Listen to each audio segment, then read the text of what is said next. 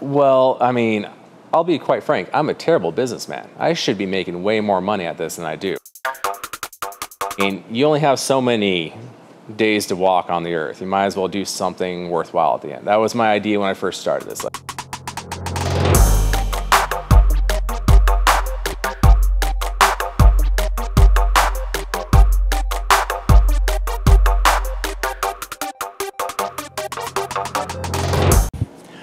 Right, so we're here with uh, Boom TV doing another dope artist interview, and I am sitting before Matt Goss.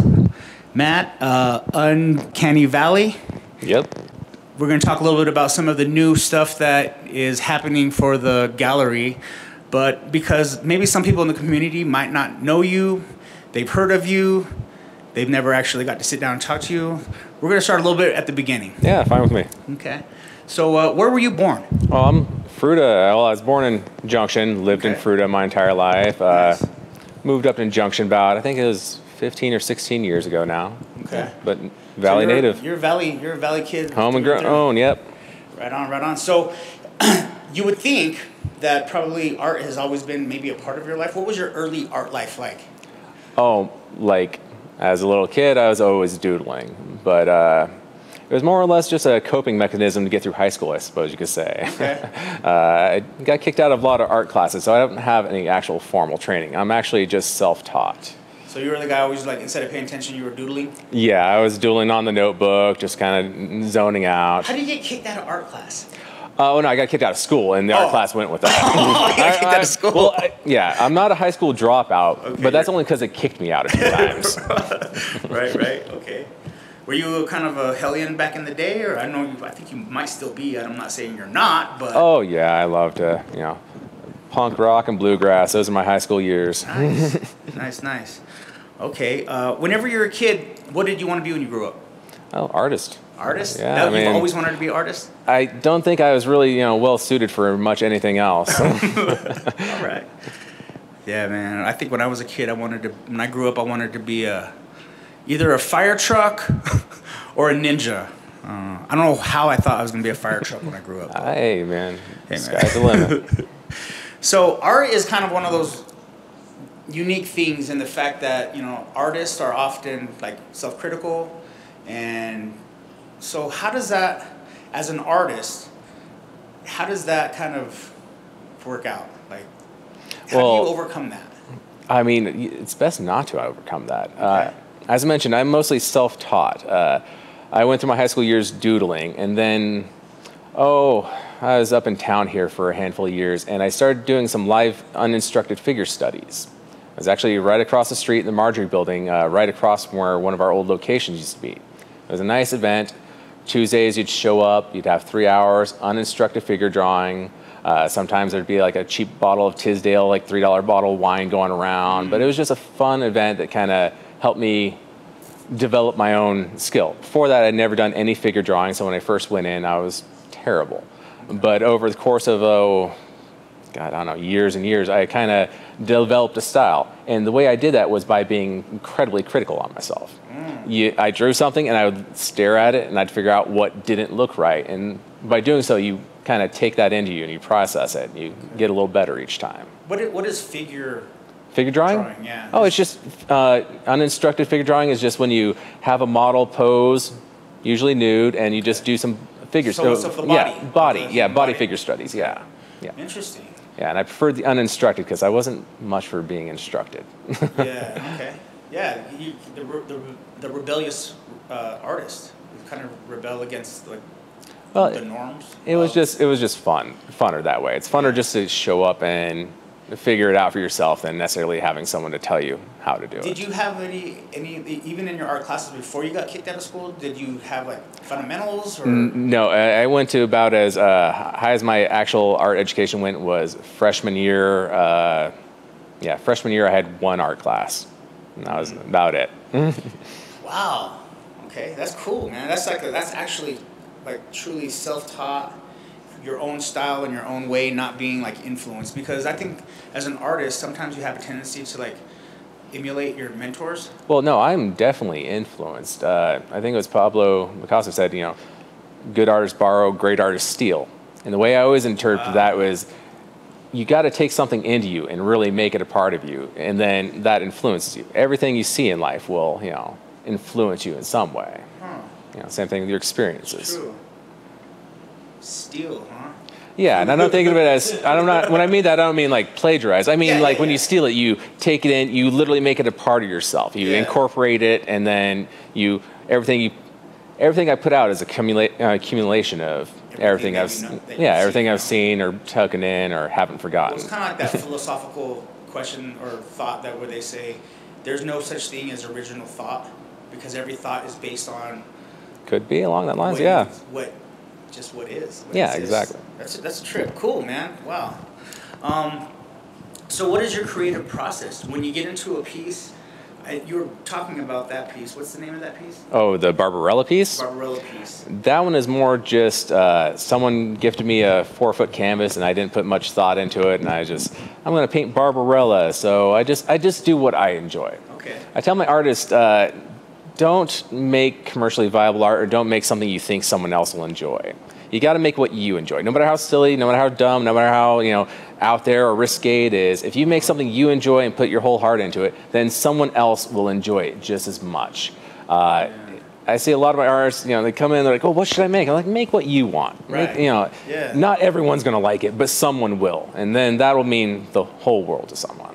That's for sure, man.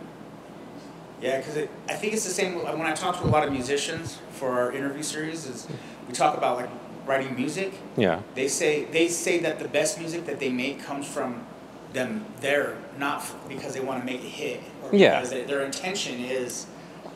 Their best songs are when their intentions are lined lined up. You know what I mean? And when your intentions are lined into pleasing someone else, then that piece of art or song is not going to be like your best or the best because Yeah. it's just coming from a different place. Well, then it's just not necessarily fun to work on stuff you're not fully into. Yeah. If you're just doing, like I've done lots of, uh, I've done mural paintings and also done uh, large scale logo reproduction for businesses. You know, just painting logos on buildings. And yeah, it's tedious and it's not fun, fun. Uh-huh. And I'd much be rather painting a fun, different, wacky ass mural. Right. But I mean, pays the bills too. and you're not like digging ditches. exactly. That's exactly what I tell people. It beats digging ditches. It's digging ditches. I like that. So let's talk a little bit about the, the gallery and some of the recent changes and what's going on. You guys are having you're having uh, a yeah. shift. I yeah, guess. it was a big change. Uh, we've been around for around eight to nine years now. Okay. I started this back just as a, well, I guess you can say an experiment. Okay. Uh, I was doing pop up art shows around town, and uh, one of the sponsors for my art shows rented out the, or leased out the, oh, Harbert Lumber building down on South 7th Street. okay. He wanted Oh, to make yeah. it a big concert venue, t-shirt venue, yada yada yada. Asked me if I wanted to open up an art gallery in the corner. Uh, I just got my tax refund back, and I was like, okay, yeah, I'll give it six months. We'll see where it goes.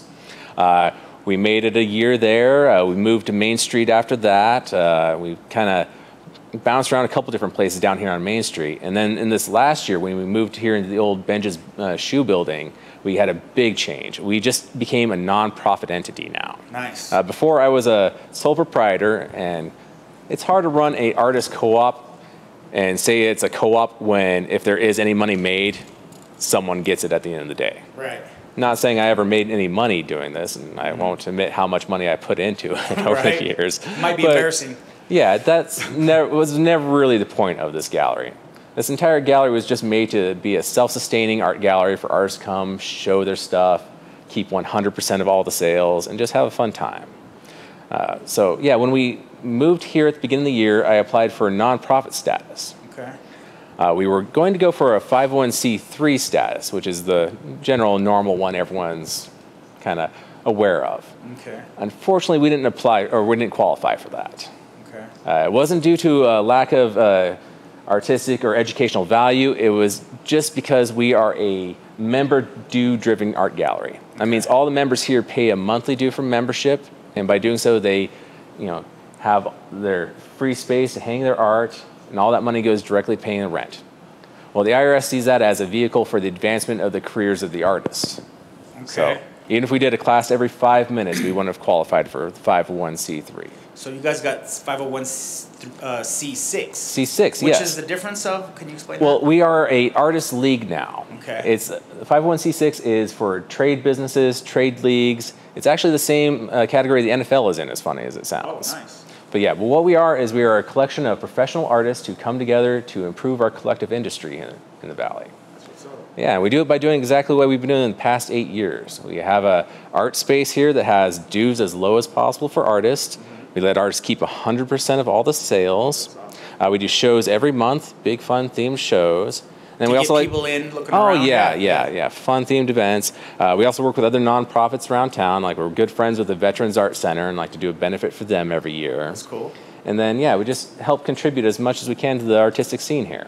So how, how does I know like the the nonprofit status that makes it so that you're able to write stuff off maybe and then Yeah. how does that work Unfortunately, the, that's the one big difference business-wise? between us, the C3 and C6, is any donations we get are not tax deductible. Mm. That's the one big drawback. So anyone who does donate to us, you know they're doing it out of the goodness of their hearts. Right. If, eh, if you see anyone who donates or supports us, they are doing it for the art scene. They're not doing it for a The tax write-off. write-off. Yeah, Yeah. no, they're just doing it out of the you know goodness of their hearts. Okay. So Sarah, there's an artist in the valley, and they're like, man, I love that gallery. They and all the events they have. There's a lot of people going in and out of that place. How do I how do I get on there? You just got to show an interest. You got to walk through the doors and just ask me. Cool. Uh, we have a website you can go on and do a little application on there, or you Uh-huh. can just come in and drop in your name in the hat. Uh, what we do is anytime we have an opening, we go down the list of artists, we contact everyone and see who's still interested, who is available, and then we just set up simple little interviews. Uh, I have a small member committee that helps make the decisions with me, and then we add whoever we think would contribute the most or get the most out of the gallery. Dude, that's what's up, man. Yeah.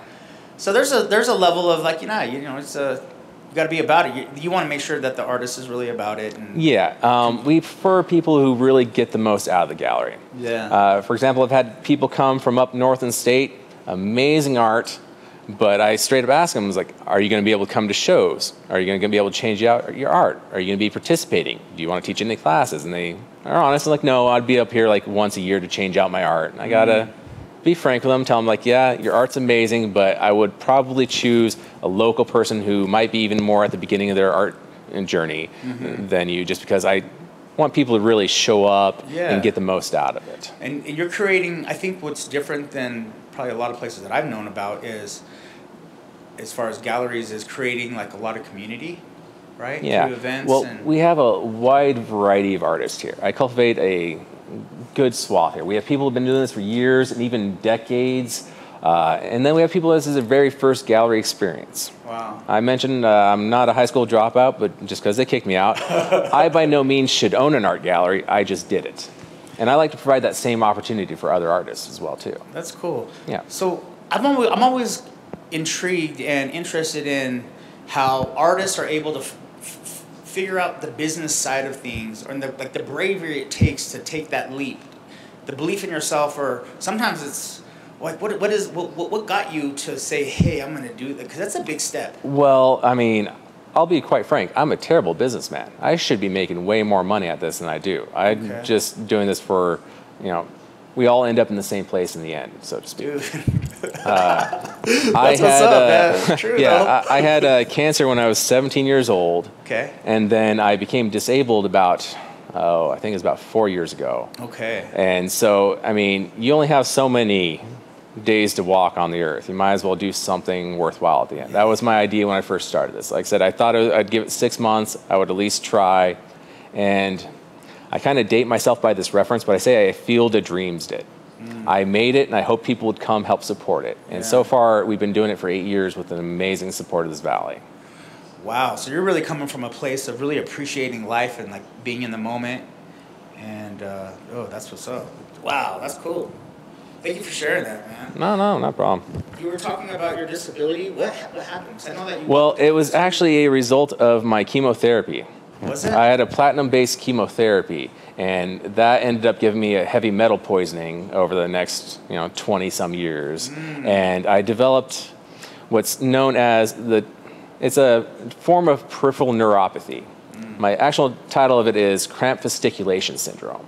okay. Uh, what it entails is just a ton of what they've told me is nerve pain, which is this intense pain. I kind of call it like a pain in between your bones and your muscle. Really weird. Yeah, but I can Um, imagine any kind of pain. Yeah, and then I also get these fun little uh, what they call fasciculations, which are tiny little muscle spasms. Like individual groups of my body will just start spasming. Uh, I'm on medications to keep those under and in control. I mean, uh, but it's kind of a at this point it's an equivalent ex- exchange situation. The more I use my body, the more pain I'll feel Wow. directly after it. So I kind of have to balance that in life. Are you in a constant state of pain typically, or? I mean, like I said, it depends on how much I do. If I sat in a bed and did absolutely nothing in my life, I would only get my random, what I call voodoo pains, where it's just like random stabbing of a voodoo doll. But say if I, you know, if I, well, for example, I painted uh, our, uh, the cabinet here. Yeah. The first couple times I painted that before my disability, it took me an afternoon. This time around, it took me three days, and my hand just now is getting back to usable situation. Wow. So yeah, it, it's just it is what That's it is. rough. That's rough. dude. Nah, could be worse. I thought I had ALS for an entire summer. So after I found out I didn't have ALS, I was walking on cloud nine. Perspective, right? Indeed. Perspective. All right. Um, so whenever you were kind of going on, on the journey of creating your own gallery and then building the kind of art community and opportunities that you have, did you have? Did you do it all by yourself, or did you have like a Oh, friend no. or a homie or a When I very first started off, uh, I was doing uh, pop-up art shows. Uh, uh, actually started off doing erotic art shows about once a year, and that kind of snowballed into this. Uh, I have had partners throughout the years uh, come and go, uh, but it's a taxing, taxing business being running an art gallery, especially a nonprofit one that doesn't see any actual revenue come in. So uh, I've learned uh, now we have a board of directors here that helps us make decisions. We have committees, and I just take whatever help you know whoever has to give it. Does do you? Let me think. I was just going to ask you something about the the nonprofit. Oh, can you qualify for grants? Yes, we can. Sweet. Yes, we can. You guys now you're able to tap yeah, into that, yeah. We're right? just getting ready to get our ducks in a row this next year and start making some big, big plans for you know grant writing, bringing in more members. Uh, we're also wanting to see about opening up the. Well, right now we're member driven by just the local artists in the gallery. Mm-hmm. We're looking to actually expand that to be a patron membership, to where people outside the gallery can contribute a small like monthly due, Mm-hmm. whether it's just even five bucks a month, to help with operating costs Mm. because I mean I don't want to do this for free, and I want to have people behind you getting paid if they can. But right, Right. now we're just not at that point. Yeah. We're we're continually growing and expanding. So well, hopefully this kind of this video uh, spreads some awareness on like what's what's needed in the community when it comes to art.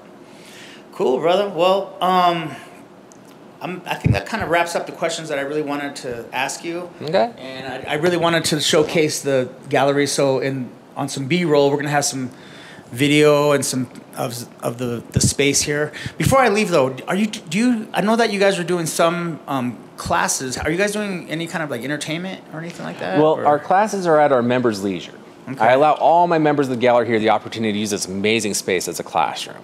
And myself not being from art school, I love seeing what they can share and teach as well too. Yeah. So anything we can share with the community is always welcome. Best way to check that out is check us out on our website or our Facebook. We do announcements on both of those for upcoming events and classes. And then we do our shows every month, big fun themed shows like we do an Alice in Wonderland show, we do steampunk shows. Uh, as I mentioned, we do benefits for like the Veterans Art Center. We've worked with the National Alliance on Mental Illness. Uh, we worked with uh, Super Ed Art Jam.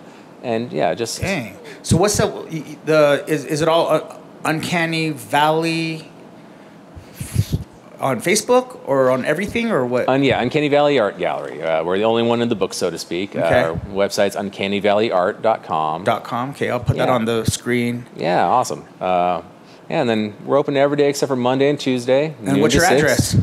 514 Main Street. The 514 old Street. Shoe Building. Old Benji's Shoe Which Building. is an absolute beautiful building. We This were really lucky building. to get into this space. Yeah, it is a really dope space. I'm definitely going to be showing some of this uh, footage. Probably as we're talking right now, we'll be showing the footage. So it's yeah, all good. yeah, we've always been doing good, and our last space was a great space, but I akined it to more uh, seeming like a retail space with art on the walls. Yeah, Here we're a little more atmospheric for the Oh art man, scene. with these old school ceilings, dude. Original tin ceilings. We went Oh, down to the original hardwood floor down there. Yeah, it's uh, there was a lot of work put in by a lot of the members of the gallery here that all helped volunteer for it. That's what's up. Yeah. Okay, cool.